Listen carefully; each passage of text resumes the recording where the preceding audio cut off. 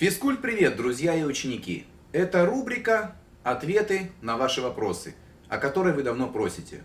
По одному вопросу за раз. Вопросы, кстати, присылайте либо в комментариях к данному видео, либо мне в личку ВКонтакт. А вы знаете, что я все вопросы не оставляю без внимания. Сегодня поговорим о молочке. Когда я написал статью о инсулиновом индексе, мне стало приходить очень много вопросов. А я в ней говорил не только об инсулиновом индексе, но и о гликолитическом индексе. Найдите ее на моем сайте HMGym и обязательно ознакомьтесь. Это самое важное, если вы хотите грамотно строить свой тренинг, свое питание. Зная, обладая данной информацией, которая находится в статье «Инсулин», вы сможете понимать и регулировать процессы, которые будут направлять все ваши питательные вещества в мышечные клетки, а не в жировые. Жировые клетки будут усыхать, мышечные нарастать. Это в принципе то, к чему мы с вами стремимся.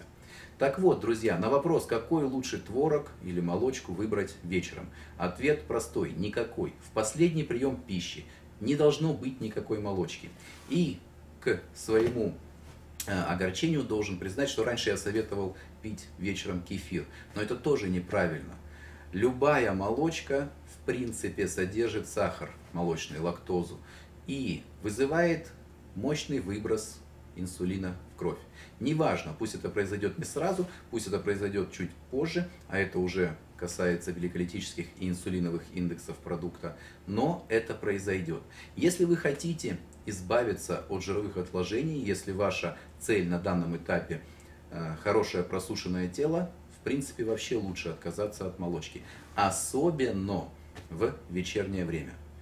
Также избегайте молочки утром если вы хотите съесть, к примеру, только творог. Нет, если вы хотите есть молочку, ешьте ее утром только 50 на 50 с медленными углеводами. Это замедлит гликолитический и инсулиновый индекс, что очень полезно скажется на вашем здоровье, кстати, и на вашем внешнем виде. Запомните, молочка вечером никогда.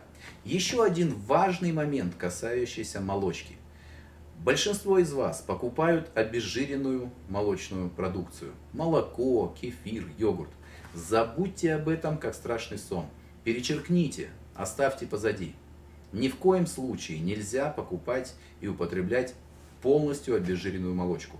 В природе такого невозможно. Нельзя, чтобы в молочке не было жира. И поэтому, чтобы как-то Э, восстановить баланс, чтобы все было нормально, вместо жира туда добавляются вещества, которые в тысячу раз хуже этого самого жира. Поэтому, выбирая между полностью обезжиренной молочкой, выбирайте средне или слабо жирные молочные продукты. Это очень важно. Не игнорируйте эту информацию. Пишите свои вопросы в комментариях или присылайте мне в личку.